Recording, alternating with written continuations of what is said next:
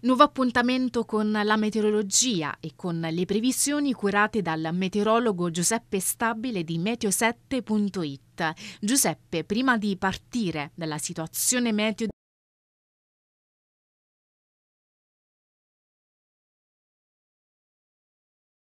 del weekend vogliamo informare i nostri telespettatori tracciando la situazione attuale del tempo.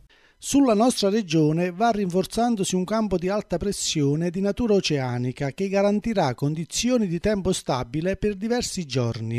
Il flusso perturbato delle correnti atlantiche scorrerà oltre Alpe. Tuttavia, infiltrazioni di aria umida da nord-ovest determineranno passaggi nuvolosi innocui. Altro elemento da tenere presente è la formazione di dense foschie e banchi di nebbia durante la notte e al primo mattino, segnatamente principalmente nelle vallate e pianure interne, un fenomeno tipico dell'inverno quando dominano le alte pressioni e che determina un'accentuata escursione termica giornaliera.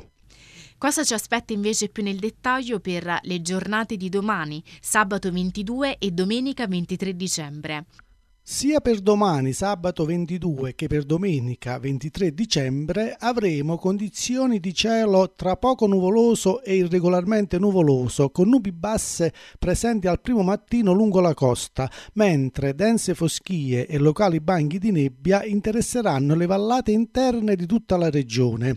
Temperature in aumento nei valori massimi, venti deboli occidentali e mare poco mosso.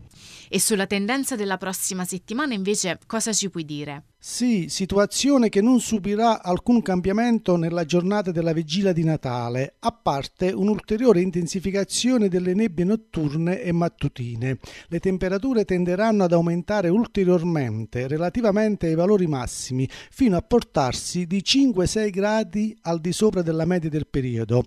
Tra Natale e Santo Stefano, invece, è prevista una modifica barica sull'Atlantico grazie all'espansione verso nord dell'alta pressione pressione, la quale raggiungerà le isole britanniche. Questo comporterà la discesa di aria relativamente fredda verso i Balcani e da qui raggiungerà la nostra penisola determinando un sensibile calo delle temperature unitamente al rinforzo del vento dai quadranti nord-orientali aria moderatamente fredda che continuerà ad affluire probabilmente almeno fino a giovedì 27 in un contesto però prevalentemente secco.